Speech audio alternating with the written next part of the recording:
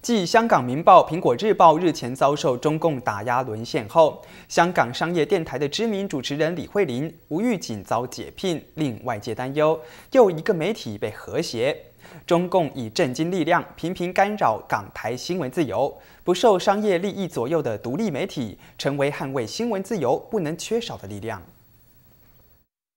李慧玲二零零四年加入香港商业电台第一台。他在节目中经常针对香港与中国大陆时局以及官员作风提出辛辣批评，并声援被中共当局打压的异议人士。二零一二年七月，他被调往早间栏目，在晴朗的一天出发。去年十一月底，再次被调回第一个主持的节目《左右大局》。十二号，李慧玲被解雇。一九五九年开播的香港商业电台，长期被视为香港言论自由的重要风向标。我系百分百咁觉得。今次嘅事件係梁振英政府對新聞自由、對言論自由嘅打壓，而商台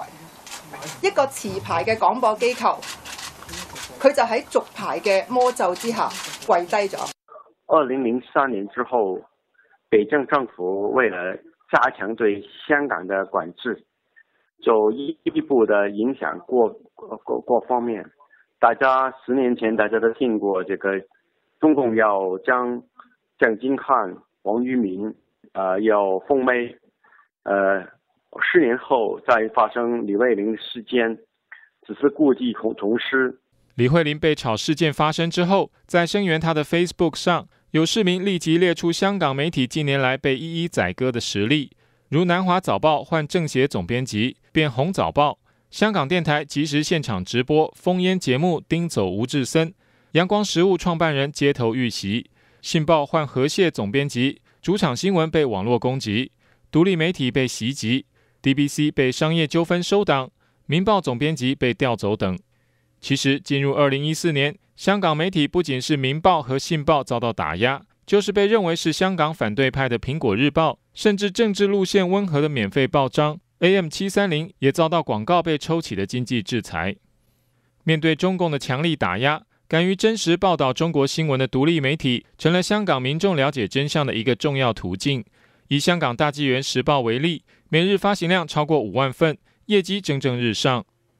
香港大學的印刷廠啊，呃，多次被中共的派的那個流氓暴徒啊，呃，那個，嗯，